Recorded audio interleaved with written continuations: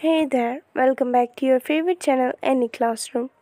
आज की हमारे इस वीडियो का टॉपिक है अयाशी वीडियो में जानेंगे इसका मतलब इंग्लिश में क्या होता है और इसी के रिलेटेड सेंटेंस भी देखेंगे। वीडियो स्टार्ट करने से पहले आप सभी से एक छोटी सी रिक्वेस्ट है। जो चैनल पर नए आए हैं चैनल को सब्सक्राइब कर लें। साथ ही साथ बेल आइकन को भी दबाएँ ताकि सारे वीडियो आप तक तो पहुँचें।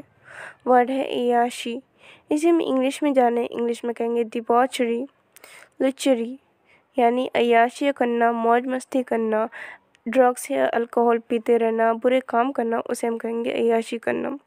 सेंटेंस है, आप हर रविवार को चर्च कैसे जा सकते हैं और फिर भी अयाशियों में लगे रह सकते हैं?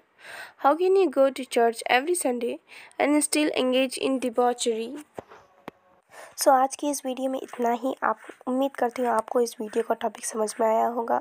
अगर समझ में आया तो लाइक शेयर एंड सब्सक्राइब करें। दूसरों तक ज़रूर पहुँचाएँ ताकि उन्हें भी इन चीज़ का नॉलेज मिलता रहे।